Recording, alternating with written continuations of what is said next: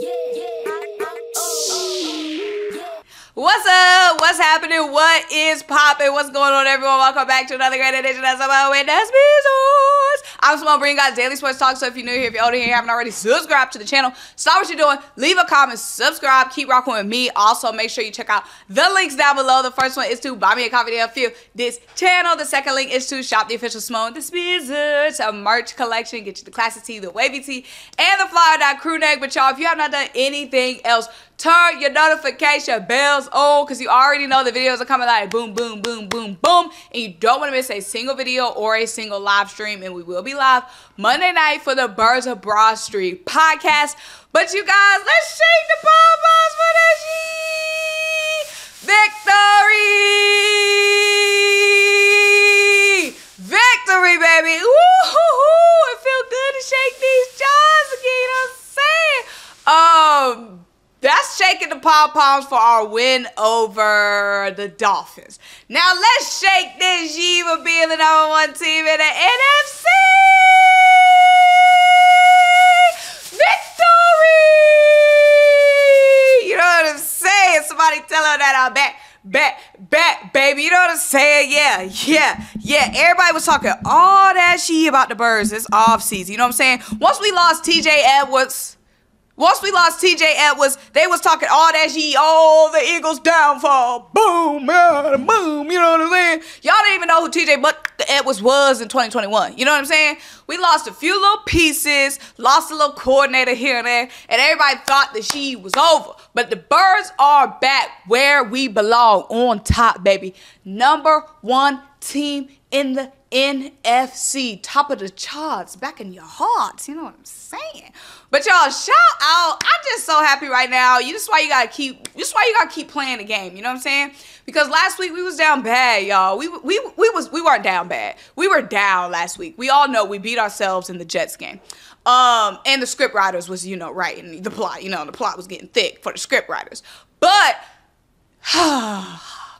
The Birds came out and that midnight green, I mean, that Kelly Green just did something, y'all. That team was looking like the team we have been waiting to see all season long. We saw flashes, great flashes from the offense, but the defense might have been off. We would have a great defensive game, but the offense would be off. When they put on that Kelly Green, baby, all the ancestors, all the greats of birds past poured into them. And they came out on the field the best product we have seen all season long, y'all. The birds are for real, and we are here, baby. And shout out to Kirk Cousins, baby, because Kirk Cousins was carving the Niners up.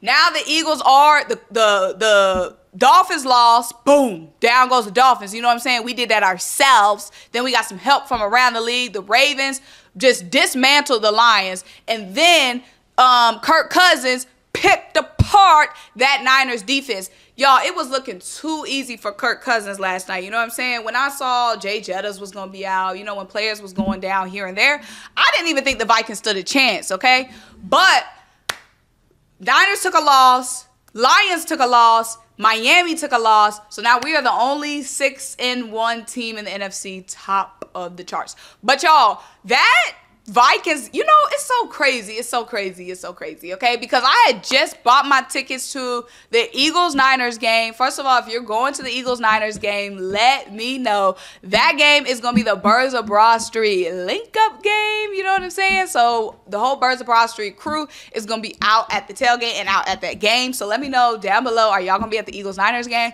But it's so crazy. You know what I'm saying? Because I had just bought the Eagles Niners tickets. And then what happened? The Niners lose that night. So I'm feeling feeling even better about the game because the way that the the Vikings was able to move on them, um, come on now. you know what I'm saying? When Swift get out there, when AJ get out there, when DeVonta get out there, when Jalen get out there, you know what I'm saying? It's gonna be some it's gonna be some easy work, you know what I'm saying? But I'm just so happy because we're back on top and we're being aggressive still. We went and added Kevin Byard, y'all. We should be hearing from Kevin Byard today in a press conference. So make sure you have your notification bells on for Symone with the Spizzors so we can hear from Kevin Byard how the trade went down, how he feels about coming to Philly, how he feels like he'll fit in. We already know he gonna come in, sit right down, fit right in, okay? Um, but I just love how the team is still being aggressive, even though we have a lot of great pieces on this team. We just haven't been able to see it all together. Like I was saying, um, early in the season, it was so hard to judge Sean Desai. It was so hard to judge the defense because of all the injuries that we faced. But we have seen in the past three games, is it the past three games? In the past, what's the order of the games?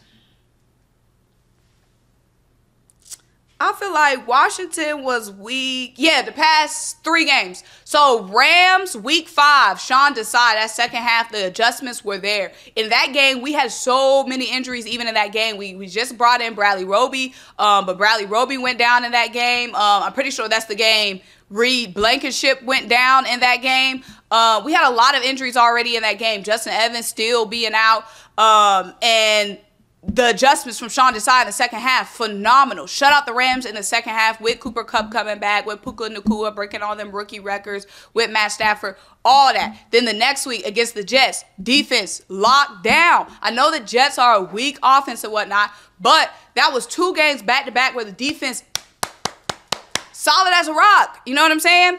Um, and then we go third week in a row against the Dolphins. So the defense is really, really starting to solidify itself. Um, and we're starting to get healthy on defense. Sydney Brown came back last week. Um, um, Avery Blankenship is supposed to be um, back soon. So the deep Bradley Roby is going to be back soon. So the defense is about to be fully healthy for the first month in time. Y'all hear that right?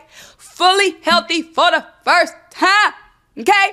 And that's what we was doing banged up. Now we're to be adding Kevin Byard into the mix. Don't play with it. Don't play with it. Come on, baby. Don't play with it. So we have a big stretch coming up of some bougie opponents. But we are playing our best football right now. So, woo wee, baby! Watching that Niners game just put so much joy in my heart. Okay? Y'all couldn't have had a better week than I had this week football wise, okay? All of our ops go down. You know what I'm saying? We play our best football in the Kelly Green under the Sunday night lights. Um, Brock Purdy throwing that game losing interception. You just can't make it up because, you know, Jalen Hurts threw his pick, whatever. We already know the media heads was gonna be talking all that G about Jalen. But now that Brock Purdy went and sold the way he was selling, they can't just be honing in on Jalen Hurts and talking all that G about Jalen Hurts. And Jalen Hurts had his um, you know, tip ball that ended up being a pick six. But Jalen Hurts locked back in and helped us win that game through some bombs, through some balls right in the bread basket versus another quarterback who, you know, had a chance to win the game and ended up, you know, throwing that pick. So, you know what I'm saying? Don't talk about Jalen this week. Talk about another quarterback. But y'all, let me know how y'all are feeling. Like I said, I'm feeling great. The trade deadline isn't even deadlined. The trade deadline is October 31st, Tuesday, Halloween. And if we pull off another move, it's going to be spooky season for y'all. Real spooky. You know what I'm saying? Um, Washington is coming up. How am I feeling about the Washington game? I'm feeling great about the Washington game. I know we went down swinging with Washington week four, but that was a that was week four, y'all. And again, the team is about to be fully healthy for the first time. We're playing our best football, the most complete football we're playing. And Washington is not playing their best football right now. Y'all seen that G against the Giants, okay? So I'm feeling great about um, Washington. Then we have the little boys. Then we have the bye week. But we still have Halloween where we can still make a move. Do y'all see the Eagles making another move? Let me know down below, down below. But y'all, like I said, I'm feeling great. We gotta ride the high. You know what I'm saying? Enjoy. Um, enjoy the highs. Enjoy the highs. But y'all like this video, leave a comment, subscribe. Keep rocking with me. Check out links down below. Buy me a coffee at this channel. Shop the official small the Spizzo. It's a merch collection. Until I talk to you guys next time. Bye.